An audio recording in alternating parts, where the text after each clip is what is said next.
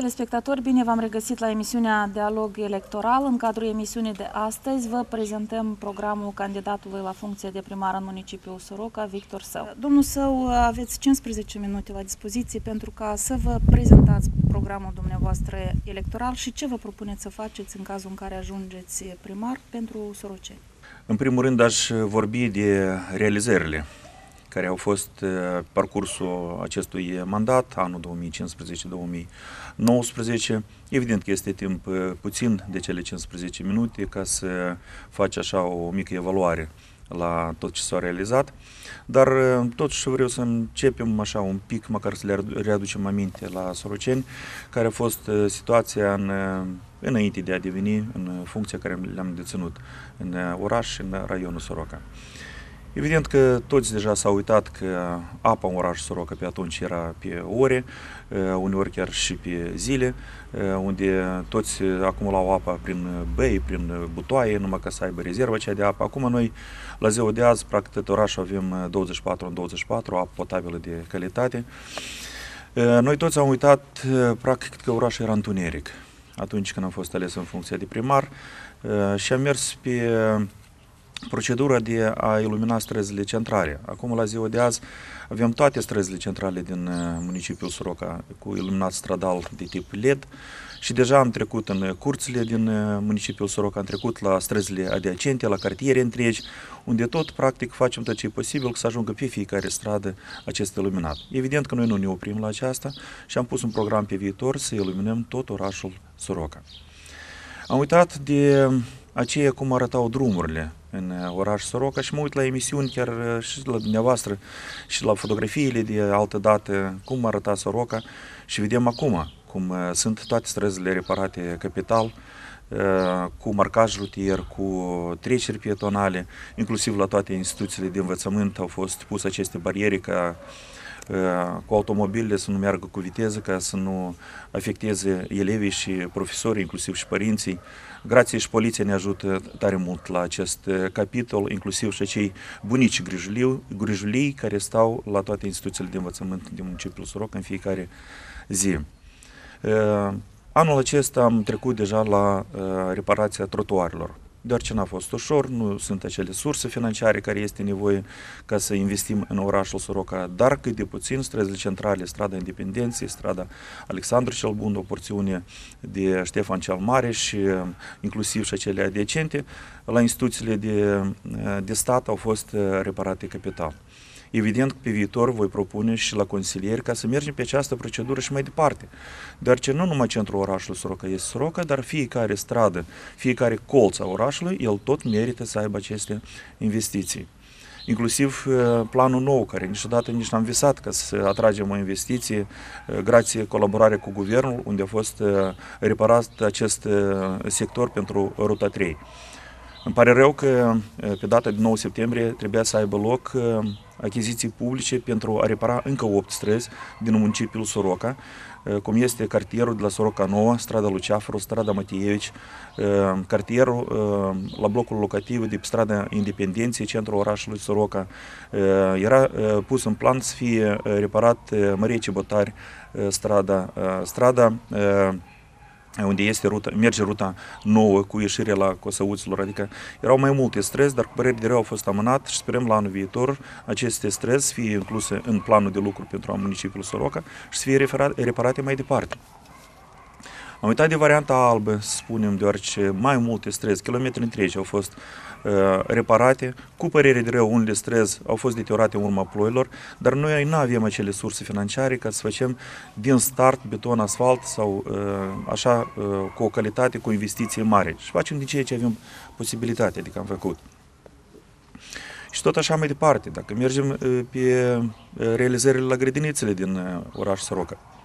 La ziua de azi Soroca pentru copii are condițiile unele dintre cele mai bune, alimentarea este foarte bună, noi avem parcurs la patru ani nicio plângere de la părinți că copiii se hrănesc rău, ne uitând la declarațiile și speculațiile politice, dar asta e politică. Noi trebuie să răbdăm și să facem lucruri mai departe, așa cum l-am făcut și până acum. Vreau să mulțumesc investitorilor că de banii care au venit extrabugetare, da? donatorilor, colegilor noștri, fraților noștri, care, orașelor înfrățite, care au venit cu donații pentru Soroca. Nu vreau să dau numic, la mine se primește cam în campania dată, toți doar mă contestează la tot absolut ce vorbesc, ce spun, cum mă adresez, dar așa e în campanie electorală. Am făcut faleza râului Nistru foarte frumoasă și vrem să o continuăm mai departe, mai mult ca atât, că noi avem deja studii de previzibilitate. Avem un proiect bun unde s-a prezentat pentru societate, este vorba de proiectul pentru construcția stației de purare. Studiul de previzibilitate deja a fost prezentat, acum este în lucru și în decembrie va fi prezentat pentru Soroceni deja și proiectul tehnic și recent am primit o scrisoare de la colegii noștri care lucrează la acest proiect, unde ne-au informat că deja a avut loc ședința de lucru la Guvernul României, unde deja s-a propus finanțare pentru construcția stației de purare cu ajutorul fondurilor europene și fondului RoAid a, a României. Și sperăm că totuși acea problemă care este discutată da, și speculată la ziua de azi în toate campaniile electorale să fie realizată și să fie închisă această temă în municipiul Soroca.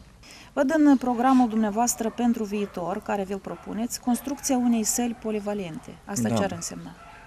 În primul rând trebuie să aducem la cunoștință în ce în stare era stadionul orășănesc și practic în fiecare an venim la cu propunerea către consilieri ca să fie alocată o sursă mai mare, să fie reparat capital. Cu părere de rău se vota, se vota doar pe porțiuni. Și știți că într-un an am făcut pista de alergare, în alt an s-au făcut uh, terenurile de joc, de basket, de volei, în anul 2019 deja s-a făcut și uh, scaunele pentru spectatori, dar uh, orașul Soroca merită o sală polivalentă unde să ai posibilitatea de a se antrena, uh, nu în aer liber, dar pe timpul de iarnă, Uh, s-a propus un fost loc în, uh, unde a fost, cum îi spuneam noi pe atunci, Gribnaia Baza. A fost uh, de trei ani uh, într-o judecată cu sindicatele, unde primăria municipiului Soroca a câștigat și a întors acest teren la primărie Soroca. În uh, anii precedenți am propus către Consiliu ca să dăm start deja la concept și deja să pregătim un proiect tehnic, să fie construită această sală, de a avea posibilitatea să se antreneze și la mini-fotbal, și la basket, și la volei, inclusiv tot, tot absolut ce este nevoie de a dezvolta un corp sănătos. Cu părere de rău, consilierii n-au votat. Evident că este o problemă, am avut o problemă și noi am discutat-o aceasta. Sper pe viitor să găsim o limbă comună, sunt deschis să colaborăm cu toți consilierii și să atragem o investiție pentru construcția acestei săli polivalente, care este un vis nu numai a meu, dar este și în uh, programele de uh, dezvoltare a orașului Soroca la toți oponenții politici. Un punct interesant în programul dumneavoastră este construcția zilului pentru întreținerea câinilor vagabonzi. De multe ori noi, mass media, încercam să abordăm această problemă. Uh, văd la dumneavoastră că ați schițat deja în proiectul dumneavoastră. Vă rog să ne spuneți cum o să faci. Până în anul 2018, întreprinderea noastră municipală, Direcția Locativ Comunală, era într-o situație financiară foarte urâtă.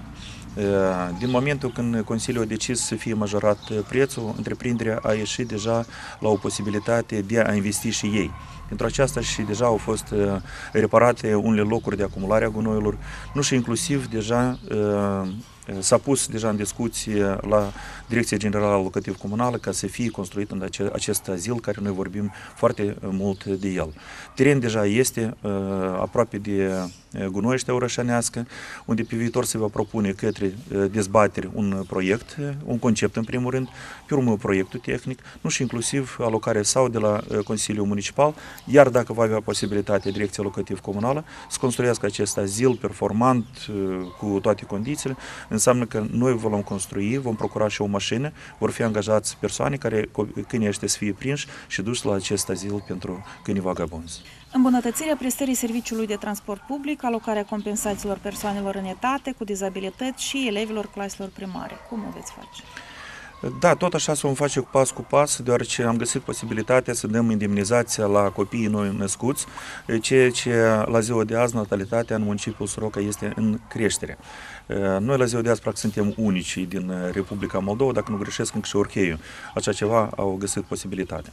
Pe viitor, tot așa, să avem posibilitatea să, ajutăm, să ajutăm numai decât oamenii în etate și anume îmbunătățirea calității, deoarece la ziua de azi, totuși, prestatorii de servicii auto nu nu își îndeplinesc condițiile contractului.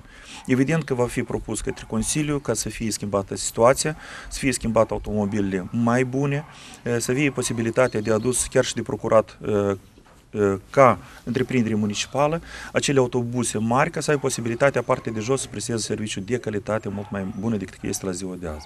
Soroca, oraș securizat. Ce aveți în vedere? Neastră ați văzut multe lucruri se fac frumoase în oraș Soroca, dar tot se găsesc acești vandali care distrug tot ce se realizează. Băncile, locurile frumoase. Pentru asta am proces deja la instalarea camerelor de luat vederi, unde au fost anunțate acele inspectori care, pentru, în ce locuri au fost instalate și propunem ca să fie aceste camere de luat vederi în toate locurile publice a municipiului Soroca. Inclusiv deja am propus și la grădinițele din oraș Soroca să fie instalate camere de luat vederi ca să nu aibă acces oamenii străini pe teritoriul acestor, acestor grădiniți. La fel, în programul dumneavoastră vedem un punct cu referire la reforma sistemului de salubrizare. Noi, pe parcursul mandatului dat, deja un pic s-a îmbunătățit, s-a îmbunătățit acest domeniu. Prin proiect cu USAID s-a atras o investiție și s-au adus 600 de tomberoane și două mașini de evacuat gunoi, care tot l-am preluat de la fostul primar și deja a fost realizat. Noi avem acel proiect care a fost pregătit pentru a atrage o investiție de până la 27 de milioane de lei, unde sunt propuse mai multe mașini de evacuare a gunoiilor, mașini de măturare a străzilor, nu și inclusiv tomberoanele cele moderne ca să fie instalate în municipiul Soroca. Plus la asta s-a propus ca să fie construit o fabrică de selectare. Problema la ziua de azi este doar în tot domeniul, în toată Republica Moldova deoarece Ministerul Mediului n-a elaborat o politică clară, unde să fie cele gunoiește autorizate, de unde bani să găsească autorități locale ca să fie construite, inclusiv și unde să fie ele instalate, în ce orașe din Republica Moldova. Așa că acest lucru trebuie în paralel cu Guvernul Republicii Moldova, în paralel cu fondurile de investiție și inclusiv și autorități locale împreună cu Consiliul Local. Un alt punct în programul dumneavoastră este întreținerea cantinelor sociale. Evident că apare întrebarea de unde o să luați bani. Acest program deja este la primăria municipiului Soroca, este finanțat de Consiliul Municipal și de Consiliul Raional Soroca, unde beneficiază la noi 60 de, de persoane, unde au posibilitatea de a avea acea mâncare caldă în fiecare zi. Noi propunem ca acest proiect să fie continuat și dacă avem posibilitatea să găsim și să beneficieze și mai mulți care au nevoie de acest serviciu. Când spuneți grupe noi în grădinițe, doar în grădinițele existente sau veți pleda și pentru construcția noilor grădinițe? În primul rând, în, noi trebuie să deschidem grupele noi în acele grădinițe care avem la ziua de azi. Au mai rămas undeva încă două, trei grupe și posibilitatea o avem. Depinde de mai departe ca Consiliul să voteze. Eu cred că niciun Consiliu nu va fi împotrivă ca să creăm condiții pentru noi născuți din municipiul Soroca. Iar dacă avem posibilitatea să construim încă o grădiniță nouă, eu cred că fiecare va fi de acord că trebuie să găsim acești bani și de construit o grădiniță nouă în municipiul Soroca. Deoarece timpul preconizat pentru această emisiune s-a epuizat, vă las pentru final să vă convingeți alegătorii că sunteți cel mai bun și meritați să fiți primar? Eu cred că nu se poate de zis că sunt cel mai bun. Sunt de rând ca și toți cetățenii, ca toți locuitorii municipiul Sorocaș și fiecare este în drept de a-și încerca puterile de a reprezenta, de a administra municipiul Soroca. Stimați soroceni, parcursul anilor am fost corect cu dumneavoastră, am fost corect cu toți absolut în ceea ce privește o administrare corectă și mai aproape de cetățeni. Am venit în fața dumneavoastră doar cu programe pentru dezvoltarea municipiului Soroca. Niciodată n-am vorbit de nimeni și niciodată nu voi vorbi urât de oponenții politici, ne uitând la ceea că ei asta o fac.